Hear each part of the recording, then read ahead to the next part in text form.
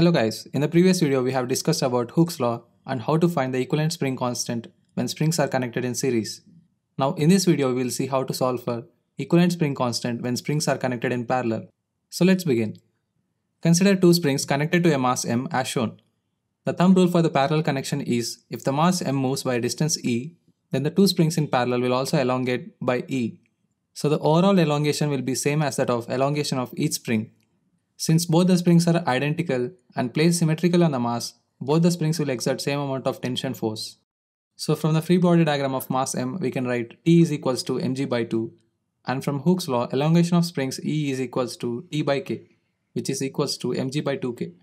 Now if the two springs are replaced by an equivalent spring of spring constant k dash, then its elongation E dash is equals to mg by k dash. And since E equal to E dash, we can write k dash is equals to 2k.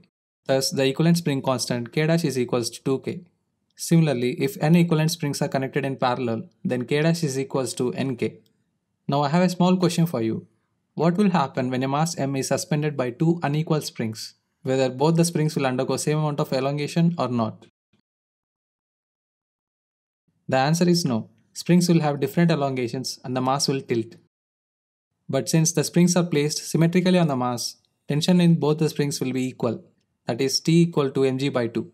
Let the difference in elongations be letter d.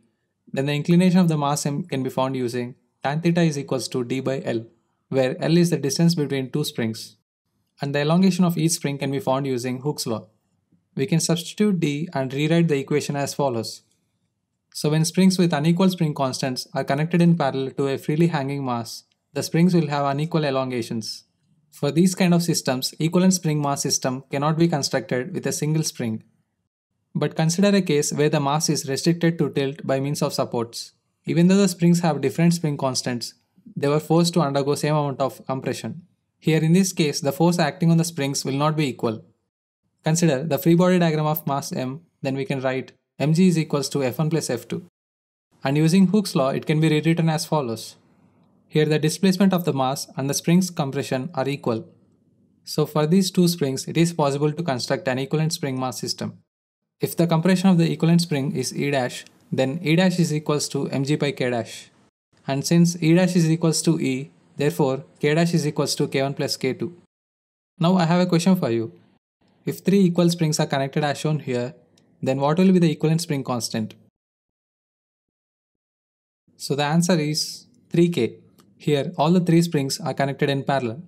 Because if the mass m moves by distance x, then all the three springs have to undergo elongation or compression of x. So the equivalent spring constant k dash is equals to the sum of all the spring constants, which is 3k. Please note that all the concepts that we have discussed today is assuming that the springs have equal amount of natural length. I hope you got the concept. If you have any doubts or suggestions, please comment down below. You can download the summary notes from the description. Thank you.